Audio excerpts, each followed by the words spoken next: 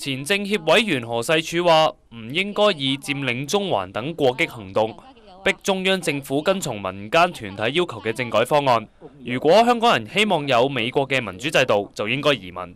佢又認為部分崇尚民主嘅歐美國家為爭取選民嘅支持，奉行福利主義，漠視經濟發展，最終引致財政債務危機。有需要思考極端民主對社會經濟發展係咪一定最好？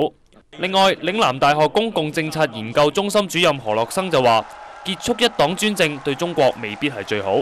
未來特首參選人反而應該確立民主、三權分立以及出版自由。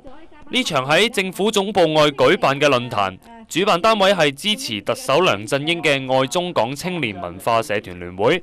大會話之前邀請佔領中環行動發起人戴耀廷、泛民立法會議員包括劉慧卿、何俊仁、梁家傑出席，但四個人都冇現身。香港風頻電視記者梁浩然報導。